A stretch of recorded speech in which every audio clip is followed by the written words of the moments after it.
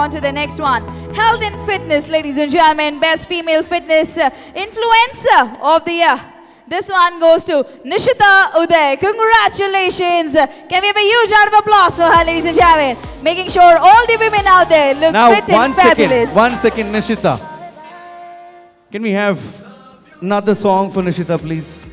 See, you are an influencer. You have to influence people, and that is why you are an influencer. Now, right? Nishita is going to influence all of us into dancing and also to stay fit by dancing as well.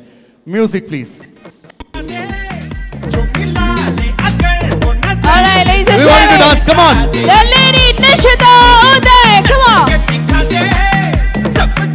Before I hand over the award, Nishita, you're an influencer yourself.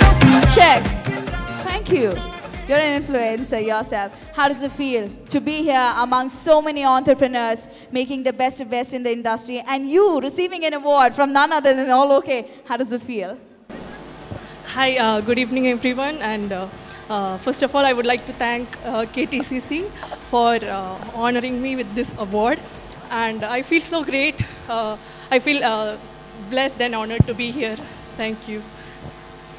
Thank you and congratulations once again. Can we have the award being handed over? Ladies and gentlemen, other than Nishita Uday. A huge round of applause, ladies and gentlemen.